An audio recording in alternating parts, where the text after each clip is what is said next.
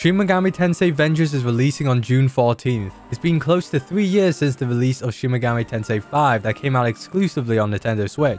Atlus is about to release an enhanced version of SMT5 called Shin Megami Tensei Vengeance, introducing new changes, a new story, new characters, and new demons. You may ask what's the difference this time around or is it worth buying this game a second time? Well, you've come to the right video as this is another everything you need to know before you buy, where I gather all the news and trailers from an upcoming game, showcasing the story, the gameplay, and formulating an opinion on whether you should buy this game, giving you some guidance and knowledge. So here's everything you need to know before you buy Shin Megami Tensei Vengeance.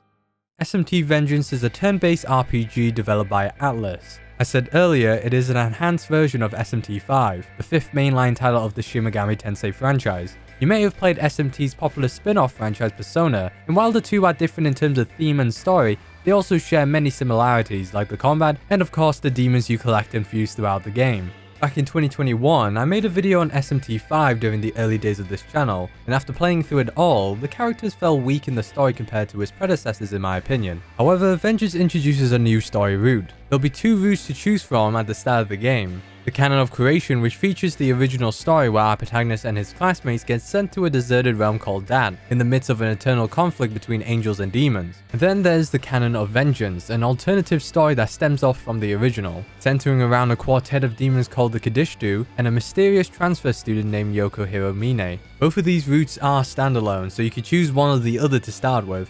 There are a lot of new changes in Vengeance, 50 of them to be exact. I won't go through all of them, but I'll leave the video about them in the description below. The first big change I want to go through are the demons. In SMT5, there were 230 demons including DLC, and now in Vengeance, they'll be adding over 40 new demons, bringing us to a total of at least 270 demons. Some of them you may recognize in other SMT games, and some will be appearing for the first time in the whole franchise. For those who don't know, Atlus has been releasing a daily demon showcase highlighting certain demons and Vengeance up until the game's release. Of course it's in Japanese, however there is a YouTuber named Buffmeister who's been uploading translated videos, so go check that channel out later if you're curious about the new demons.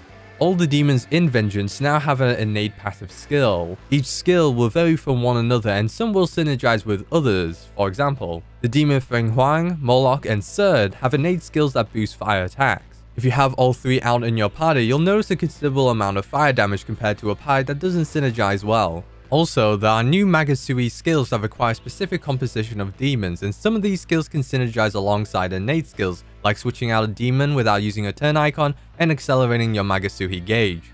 Another new feature is the Demon Haunts, a location where you can converse with your demons. As you build up your relationship by giving them gifts, your demons can potentially gain new stats and skills.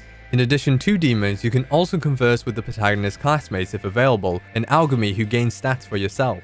The Demon Haunts has a free camera mode as well, so you can use it to take screenshots of your favorite demons or characters. Next, let's go through the changes in combat. The combat system itself hasn't changed. For those unfamiliar, SMT uses a turn-based system called the Press Turn system, where you can gain additional turns by exploiting an enemy's weakness or landing a critical hit. In the Canon of Vengeance story, it looks like the protagonist classmates can now fight alongside you as a guest character. You can see Ichiro, Yuzuru, Tao, and Yoko fight alongside, and I say this is a great change since it adds more involvement and presence to the characters. Aside from that, there are now consecutive battles where if you enter battle with multiple enemies around you, you'll be finding them in waves, giving you more XP and Macca. There are now more variation in demon conversation like surprise quizzes and escaping with gifts. And demons are more likely to beg for mercy. There's going to be a miracle that allows you to demand essence from the demon, which is a useful change.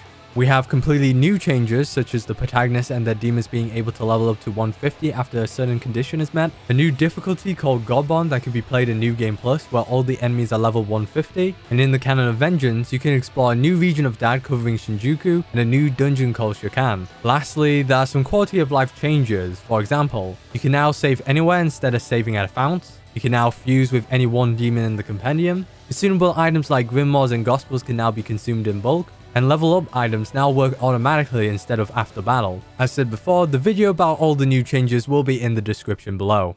Finally, the question you've all been waiting for, should you buy Shin Megami Tensei Vengeance? But before we get into that, be sure to like, comment down your thoughts on the game, and subscribe. I'm trying to get 500 subscribers this year, so your support will be greatly appreciated. Whether you bought SMT5 back in 2021, or you've patiently waited for this exact moment, I say it's worth the purchase if you can. Vengeance is releasing on both 8th and 9th gen consoles as well as PC, so we can finally play at a smooth frame rate. Also, on June 13th, SMT5 will be delisted on the Nintendo eShop. Makes sense since Vengeance will have everything SMT5 related, including all of the Demon DLCs like the Demi-Fiend and Cleopatra. However, Vengeance will have its own DLC, which includes the Mitama DLC and two new Demon DLCs, Dagda and Konohana Sakuya. I wonder how the Kadishtu, Yoko, and the original characters are going to tie into this story. Even the director of SMT5, Shigeo Komori, was disappointed on how they couldn't implement everything they wanted into SMT5, so hopefully we'll see that in Vengeance. And that's it for this video, I hope you enjoyed it. I was planning to do a video on May, but I was building a new PC, and it didn't go as smoothly as I wanted to. I had troubles booting it up. Fortunately, I figured out it was a motherboard problem, and now the PC is up and running. There are a few more things I need for the new setup, so I'm using my old PC to edit for the time being. It's nice to play the new games without any problems. Anyways, that's it for me, and as always, I'll see you next time and catch you guys later. Take care.